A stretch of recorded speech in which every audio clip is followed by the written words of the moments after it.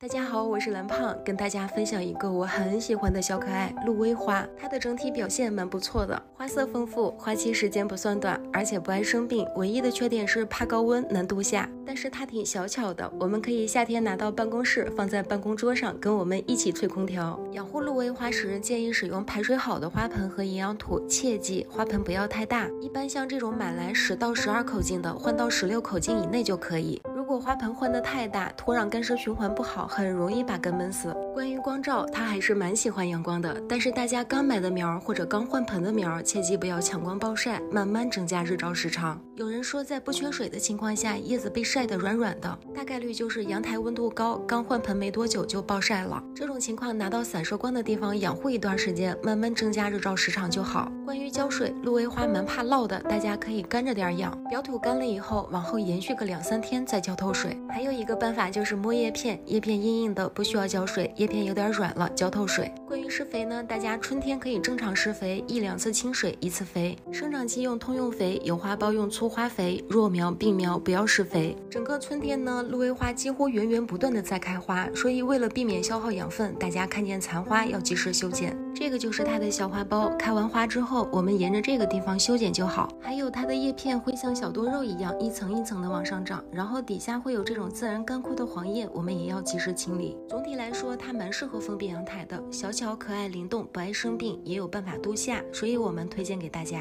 好啦，今天就分享这些，有问题留言，拜拜。